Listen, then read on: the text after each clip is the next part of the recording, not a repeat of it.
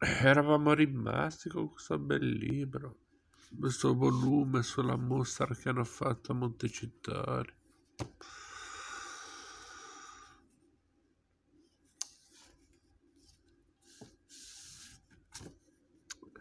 Della mostra fa peraltro parte integrante la sezione documentaria costituita da materiale di rilevante interesse storico-artistico, comprendente gli inediti disegni delle areti di Ernesto Basile provenienti dagli archivi del Montecitorio. Va sottolineato come questo progetto si è, po- si è potuto realizzare grazie alla proficua collaborazione con i soprintendenti per i beni artistici e storici di Napoli, Roma e Firenze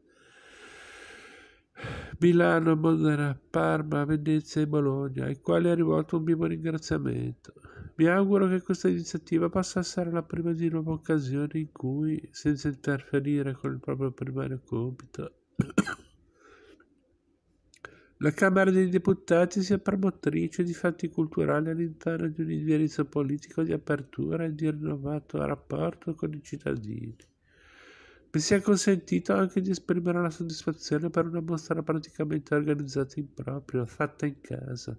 con il minimo dispendio economico, attraverso un uso razionale delle risorse umane e organizzative dell'amministrazione della Camera. A dimostrazione che anche in momenti di rigore economico è possibile offrire alla cittadinanza un'occasione preziosa e comunque dovuta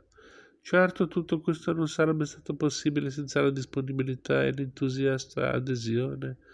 del personale tutto della Camera dei Deputati che ha contribuito a superare gli innumerevoli problemi logistici, organizzativi, di sicurezza e di custodia delle opere.